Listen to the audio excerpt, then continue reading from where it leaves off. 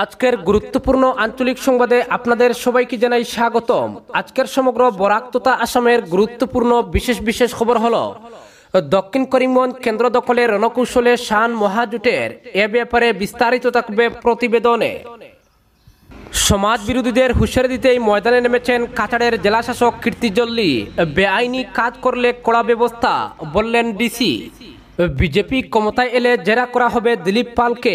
বিস্ফোরক আমিনুল হক লস্কর, অস্ত্র, ড্রাগস পাচার নিয়ে তথ্য দিন শিলচরের বিধায়ক। উত্তর করিমগঞ্জের বিজেপি প্রার্থী মানুষের বিরুদ্ধে কমিশনে নালিশ, হলফনামায় মামলার তথ্য গোপন, বিস্তারিত থাকবে প্রতিবেদনে। নির্বাচনের দিন যতই এগিয়ে আসছে, প্রচারাভিযান ততই থুঙ্গে উঠছে। বদরপুর আসনে মহাজোটের প্রার্থী আব্দুল আজিজ এবং বিজেপির বিশ্বরূপ ভট্টাচার্য সংখ্যালঘুদের কাছে টানতে মরিয়া। এবং সর্বশেষ খবরটি হল, বিজেপির নেতারা বসন্তের কুকিল, ভোট প্রচারে মিসবাহুল ইসলাম লস্কর। দর্শক, এতক্ষণ শুনছিলেন সংবাদ শিরোনাম। এখন শুনুন সংবাদের বিস্তারিত। তার আগে অনুরোধ, অবশ্যই ভিডিওটিতে একটি লাইক দিবেন এবং খবরটি জনস্বার্থে শেয়ার করার আহ্বান। দক্ষিণ করিমগঞ্জ কেন্দ্র দখলে রণকৌশলে শান মহাজোটের পুরনো রাজনৈতিক বৈরিতা বলে কংগ্রেস, ইউডিএফ সহ মহাজোটের অংশীদার অন্যান্য দলের কর্মীদের। সবার সংঘবদ্ধ প্রচেষ্টায় মহাজোটের জয় হাসিল করতে মাঠে নামার পাশাপাশি ভোট কেন্দ্রে বেশি সংখ্যায় ভোট কাজ করার আহ্বান জানিয়েছেন ইউডিএফের জেলা সভাপতি আজিজুর রহমান তালুকদার। দক্ষিণ করিমগঞ্জ কেন্দ্রের এরালিগুল বাজারে কংগ্রেস, ইউডিএফের কর্মসভা অনুষ্ঠিত হয়। ইউডিএফের কেন্দ্র কমিটির উপসভাপতি আব্দুল হাকিম তালুকদারের পৌরোহিত্যে উভয় দলের মহাজোটের সভায় ইউডিএফ জেলা সভাপতি আজিজুর রহমান তালুকদার মিত্রজোটের প্রাসঙ্গিকতা নিয়ে বিস্তারিত তুলে ধরেন। বলেন, গত বিধানসভা নির্বাচনের সময় বদরুদ্দিন আজমল ইউডিএফ এর টিকিট প্রদান করায় এবং কেন্দ্রের জনগণ আজমলের প্রতি আস্থা রেখে ভোট দিয়ে আজিজ খানকে বিধায়ক নির্বাচিত করেছিলেন। এবারের নির্বাচনে সেই সব ভোটারের সঙ্গে বিশ্বাসঘাতকতা করে মিত্রজোটের প্রার্থী হয়েছেন আজিজ খান। এবারের নির্বাচনে তাকে বিশ্বাসঘাতকতার জবাব দিতে মুখী রয়েছেন দক্ষিণ করিমগঞ্জের জনগণ। এমনই মন্তব্য করে আজিজ খানকে ঠুকলেন আইনজীবী জাকির হোসেন, আতিকুল বাড়ি চৌধুরী ইসলাম উদ্দিন বান্দরকোনা জিপির সভাপতি মতিউর রহমান মইনা জিপির প্রাক্তন সভাপতি আব্দুল হামিদ প্রমুখ। তাদের বক্তব্যে বলেন, রাজ্যের ভবিষ্যৎ রাজনীতির কথা চিন্তা করে ষাটটি রাজনৈতিক দল মিলে মহাজোট গঠন করে দলীয় নেতৃত্ব সব দিক বিবেচনা করে প্রতিটি আসনে অপশক্তির মোকাবিলা করার মতো যোগ্য প্রার্থীদের মনোনয়ন দিয়েছে।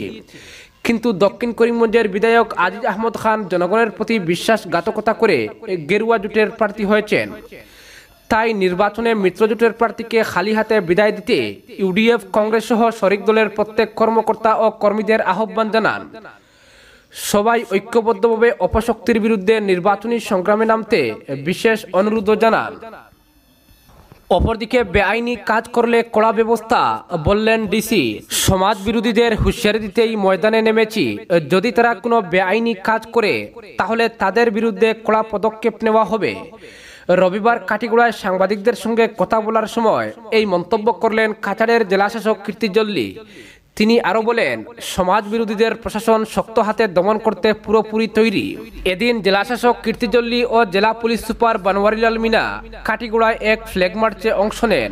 আসন্ন বিধানসভা নির্বাচনের জন্য জনগণের মধ্যে আগ্রহ বাড়াতে এই ফ্ল্যাগ মার্চের আয়োজন করা হয়েছিল। কাটিগুড়া থানা থেকে রাজাটিলা পর্যন্ত এই মার্চে শতাধিক এসএসবি জওয়ান জেলার সরকারি আধিকারিকরা অংশ নেন। রাস্তার দুপাশে থাকা জনসাধারণের সঙ্গেও জেলাশাসক এদিন কথা বলেন। জেলাশাসক ও পুলিশ সুপার এদিন জনসাধারণকে এক এপ্রিল ভোট দেওয়ার জন্য উৎসাহ দেন। পাশাপাশি তারা কোনো দলের পক্ষ থেকে তাদের ভোট দেওয়ার জন্য হুমকি দেওয়া হয়েছে কিনা এ ব্যাপারেও জানতে চান। জেলা শাসকের কথায়, এই উদ্যোগের পিছনে একটাই কারণ, যাতে ভোটারদের ভোটদানের প্রতি আস্থা বাড়ানো যায় এবং তারা কোনো ভয়ভীতি ছাড়াই ভোট দিতে পারে। আগামীতে এ ধরনের উদ্যোগ জেলার অন্য বিধানসভা কেন্দ্রেও নেওয়া হবে। তবে এখন পর্যন্ত এ ধরনের অপ্রীতিকর কোনো ঘটনার খবর নেই। পুলিশ সুপারও একই কথা বলেন। সেই সঙ্গে তিনি আরও বলেন, ফ্লাইং স্কোয়াড ও স্ট্যাটিক সার্ভিলেন্স টিম জেলার বিভিন্ন জায়গায় টহল দিচ্ছে, নাকা চেকিং চলছে।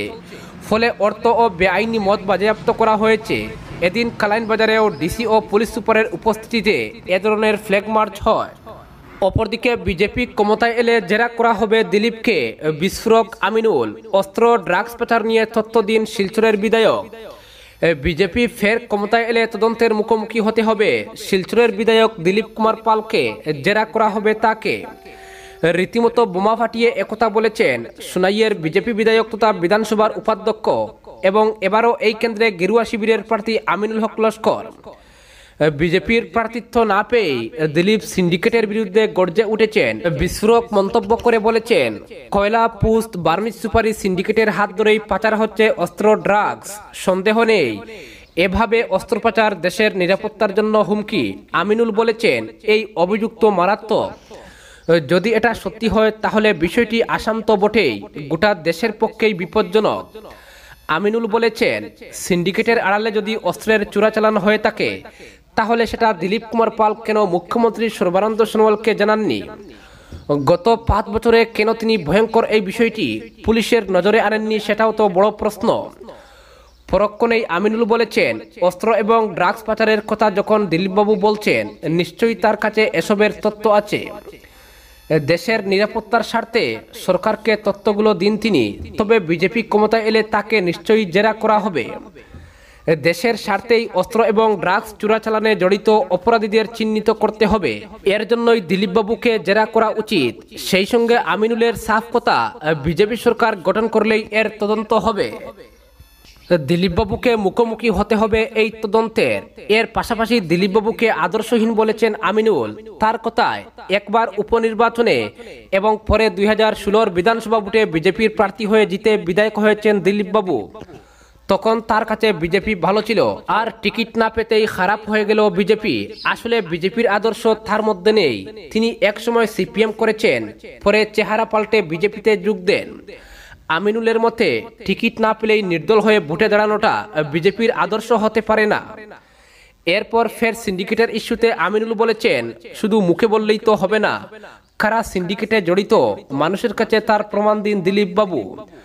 নইলে বুঝে নিতে হবে তিনি মিথ্যেবাদী। ভিত্তিহীন অভিযোগ তুলে বিজেপির গায়ে কলঙ্কের দাগ বসাতে চাইছেন। অপরদিকে উত্তর করিমগঞ্জের বিজেপি প্রার্থী মানুষের বিরুদ্ধে কমিশনে নালিশ, হলফনামায় মামলার তথ্য গোপন। উত্তর করিমগঞ্জের বিজেপি প্রার্থী মানস দাসের বিরুদ্ধে নির্বাচন কমিশনের কাছে অভিযোগ দাখিল করলেন করিমগঞ্জের লঙ্গাই রোডের বাসিন্দা ঋষিরাজ ভট্টাচার্য। মনোনয়নপত্র জমা দেওয়ার সময় মানসবাবুর বিরুদ্ধে চলতে থাকা মামলাগুলির কোনো তথ্য উল্লেখ করা হয়নি বলে তিনি অভিযোগ তুলেছেন। বিষয়টি ভারতীয় নির্বাচন আয়োগের মুখ্য নির্বাচন কমিশনার সুনীল আরোরার নজরে আনতে এক অভিযোগনামা পাঠিয়েছেন তিনি। অভিযোগনামায় উত্তর করিমগঞ্জের বিজেপি প্রার্থী মানস দাসের বিরুদ্ধে থাকা বিভিন্ন মামলার বিস্তারিত উল্লেখ করা হয়েছে। অভিযোগকারী ঋষিরাজের মতে, করিমগঞ্জ শহরের লঙ্গাই রোডের বাসিন্দা শ্রীকান্ত ভট্টাচার্য দুই হাজার ষোলো সালের উনিশ ডিসেম্বর করিমগঞ্জ সদর থানায় মানসবাবুর বিরুদ্ধে এক এজাহার দায়ের করেছিলেন। ভারতীয় দণ্ডবিধির চারশো নয় এবং চারশো বিশ নং দ্বারায় নথিভুক্ত এক হাজার চুরাশি নম্বর মামলাটির শুনানি এখনও সমাপ্ত হয়নি। অন্যদিকে করিমগঞ্জের মুখ্য ন্যায়দণ্ডাধীশের আদালতে GR two eight one two sixteen নম্বরের একটি মামলা চলছে। যার পরবর্তী শুনানির তারিখ হচ্ছে একত্রিশ এপ্রিল। কেবল তাই নয়, করিমগঞ্জ পুরসভার পুরপতি থাকার সময়ে বাইশ দশমিক আট শূন্য লক্ষ টাকা নয়চ সংক্রান্ত এক মামলায় গুয়াহাটি উচ্চ ন্যায়ালয় বিজেপি প্রার্থী মানস দাসের বিরুদ্ধে এজাহার দাখিল করার নির্দেশ দিয়েছিল। অর্থাৎ তার বিরুদ্ধে একাধিক মামলা থাকলেও মনোনয়ন জমা দেওয়ার সময় ছাব্বিশ নম্বর ফর্মে এ ধরনের কোনো উল্লেখ নেই। অভিযোগকারী ঋষিরাজ ভট্টাচার্য জানান, সম্ভবত মানসবাবু তার এই মামলাগুলির সম্পর্কে নিজের দল বিজেপিকে অবগত করেননি। বিজেপি দল এই দলীয় প্রার্থীর অপরাধ সংক্রান্ত বিষয় নিজের ওয়েবসাইটে আপলোড করেনি। এ ধরনের একজন প্রার্থীকে কীভাবে বিজেপি দল নিজেদের টিকিট দিল, সে নিয়েও প্রশ্ন তুলেছেন তিনি। অভিযোগকারীর মতে, উত্তর করিমগঞ্জবাসী জনগণের অধিকার রয়েছে প্রার্থীদের বিরুদ্ধে থাকা অপরাধমূলক কর্মকাণ্ড সম্পর্কে জানার। কিন্তু মানসবাবু সেক্ষেত্রে এই কেন্দ্রের ভোটারদের অন্ধকারে রেখে নির্বাচনে প্রতিদ্বন্দ্বিতা করতে চলেছেন। কেবল তাই নয়, তার এমন কর্মকাণ্ড নির্বাচন কমিশনের একাধিক নির্দেশকে লঙ্ঘন করেছে বলে অভিযোগকারী মতব্যক্ত করেন। এ বিষয়ে মুখ্য নির্বাচন কমিশনারের হস্তক্ষেপ কামনা করে মানসবাবুর মনোনয়ন বাতিলের দাবি জানিয়েছেন ঋষিরাজ ভট্টাচার্য। অপরদিকে নির্বাচনী প্রচারাভিযান তুঙ্গে বদরপুরে। নির্বাচনের দিন যতই এগিয়ে আসছে, প্রচারাভিযান ততই তুঙ্গে উঠছে। বদরপুর আসনে মহাজোটের প্রার্থী আব্দুল আজিজ ভোটারদের ঘরে ঘরে যাচ্ছেন। তিনি ভোটারদের বলেন বিজেপি নেতাদের ভোট চাওয়ার অধিকার নেই। কেননা এই দল জনগণের আশা আকাঙ্ক্ষা পূরণ করতে ব্যর্থ। আজ দ্রব্যমূল্য আকাশ চুয়া, চালের দাম প্রতি কুইন্টালে এক হাজার টাকা বেড়েছে। তেল প্রতি লিটারে দশ টাকা করে বেড়েছে। এছাড়াও প্রত্যেকটি নিত্য প্রয়োজনীয় সামগ্রীর দাম দিন দিন বাড়ছে। পেট্রোল, ডিজেলের মূল্য নেপাল, বাংলাদেশ থেকে অনেক বেশি। এই দল হিন্দু মুসলমানের মধ্যে বিভাজনের রাজনীতি করে। তাই এই সাম্প্রদায়িক দল থেকে দূরে থাকতে বলেছেন আব্দুল আজিজ। হিন্দু, মুসলমান, বৌদ্ধ, খ্রিস্টান সব ধর্মের মানুষের যৌথ প্রচেষ্টায় এই দেশ গড়ে উঠেছিল। এই দল যদি আবার ফিরে আসে, তাহলে এই দেশে আর কিছু বাঁচবে না। বিজেপি মুক্ত ভারত গড়তে সবার সহযোগিতার প্রয়োজন। তাই আগামী এক এপ্রিল মহাজোটের প্রার্থীদের ভোট দিয়ে জয়যুক্ত করার আহ্বান জানাচ্ছেন তিনি। এদিকে বিজেপি প্রার্থী বিশ্বরূপ ভট্টাচার্য ও বদরপুরকে নিজের দখলে আনতে সংখ্যালঘু এলাকায় ঝাঁপিয়ে পড়েছেন। তিনি সংখ্যালঘুদের ভোট আদায়ের চেষ্টা চালিয়ে যাচ্ছেন। কেননা বদরপুর আসনে মুসলিম ভোট অনেক বেশি। তাই বদরপুর আসনে জয়লাভ করতে হলে মুসলিম ভোটের প্রয়োজন রয়েছে। তাই বিশ্বরূপবাবু মুসলিম এলাকায় বেশ জোর দিয়েছেন। কেননা বদরপুর আসনে আজ পর্যন্ত বিজেপি দল জয়লাভ করতে পারেনি। তাই বিশ্বরূপবাবু আপ্রাণ চেষ্টা করে যাচ্ছেন বদরপুর আসন দখল করতে। অপরদিকে বিজেপি নেতারা বসন্তের কোকিল, ভোট প্রচারে মিসবাহুল ইসলাম লস্কর। বিজেপি নেতারা বসন্তের কোকিল, নির্বাচন আসলে তাদের দেখা পাওয়া যায়। তারা প্রতিশ্রুতি বিলাতে অভ্যস্ত। প্রতিশ্রুতি পূরণ করতে প্রধানমন্ত্রী নরেন্দ্র মোদী, মুখ্যমন্ত্রী সর্বানন্দ সোনোয়াল থেকে অর্থমন্ত্রী হিমন্ত বিশ্ব শর্মা সবাই ব্যর্থ। মুখ্যমন্ত্রী সর্বানন্দ সোনোয়াল মুখে বরাক ব্রহ্মপুত্র মৈত্রীর গান গাইলেও বাস্তবে তিনি বরাক বিদ্বেষী। যার ফলে আসাম সরকারের আমলে বরাকের শিক্ষিত বেকারদের চতুর্থ শ্রেণির কর্মচারী হিসেবে চাকরি প্রদান না করে ব্রহ্মপুত্র উপত্যকার লোক এনে বরাকে নিয়োগ দেওয়া হয়েছে। এতে বিজেপির প্রতিশ্রুতির সঙ্গে বাস্তবের মিল নেই। সোমবার শালচাপড়া মণ্ডল কংগ্রেসের উদ্যোগে শালচাপড়া বাজার এলাকায় আয়োজিত এক নির্বাচনী জনসভায় এভাবে তুপ দাগলেন বড়খলার কংগ্রেস প্রার্থী তথা প্রাক্তন মন্ত্রী মিসবাহুল ইসলাম লস্কর। শালচাপড়া জিপির আঞ্চলিক পঞ্চায়েত সদস্য যুগেন্দ্র সিনহার পৌরোহিত্যে এদিন বিজেপিকে আক্রমণ করে একের পর এক মন্তব্য করেন মিসবাহুল। তিনি বলেন বিজেপি সরকার কৃষকদের সেবায় নিয়োজিত, অথচ এ সরকারের আমলে অকৃষকেরাই পাচ্ছেন কৃষি সহায়তা। দুর্নীতি মাথাছাড়া দিয়ে উঠেছে। এবার মহাজোটের সরকার গড়বে বলে দাবি করেন মিসবাহুল। এদিন মুসলিম মহিলাদের মানুষ জন্ম দেওয়ার মেশিন আখ্যায়িত করে মন্ত্রী হিমন্তের বিরূপ মন্তব্যের সমালোচনা করতে গিয়ে জেলা কংগ্রেস সম্পাদক ইসলাম উদ্দিন চৌধুরী বলেন, এই মন্তব্য করে হিমন্ত মুসলিম মহিলাদের নয়। বাস্তবে নিজের মায়ের অপমান করেছেন। এছাড়া সবাই বক্তব্য রাখেন বিভিন্ন স্তরের পদাধিকারী বৃন্দ প্রত্যেকেই বিজেপি সরকারের আমলের অপশাসন থেকে মুক্তি পেতে মহাজোটের স্বচ্ছ প্রার্থী মিসবাহুলকে বিপুল ভোটে জয়ী করার আহ্বান জানান। সাম্প্রদায়িক বিভাজনের রাজনীতিতে ক্ষমতায় এলেও এই সরকারের আমলে সাধারণ মানুষ দ্রব্যমূল্যের আকাশ ছোঁয়া মূল্য বৃদ্ধিতে পঙ্গু। আজকের বিশেষ